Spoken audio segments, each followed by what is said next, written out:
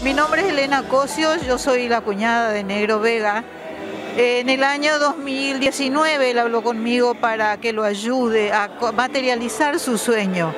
Hacía muchos años que él quería escribir un libro con su vida, eh, dejar plasmadas las cosas importantes y sobre todo su mirada como político, militante social, militante deportivo, militante justicialista, peronista, amante de la doctrina justicialista y no había conseguido apoyo ni eh, personas interesadas en hacer su trabajo. Eh, yo acepté, me había jubilado, tenía eh, tiempo disponible, acepté el desafío y nos pusimos a trabajar. trabajamos juntos durante 18 meses.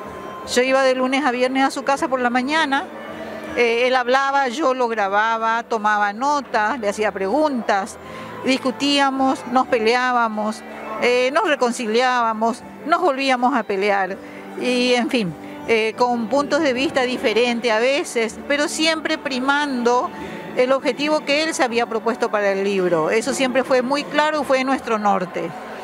Además, este, la parte, digamos, técnica, literaria, que también tuvo sus discusiones en cuanto al ordenamiento del contenido del libro, que decidimos hacerlo a través de un eje cronológico, este, la verificación de los datos históricos para que tenga rigor histórico y pueda servir también quizás de orientación o de consulta a, a, las nuevas generaciones, porque tiene mucha historia de Formosa el libro, eso es lo importante. Y ellos tienen la venta del libro en su domicilio, que está en la avenida González Lelón 456, con seguridad.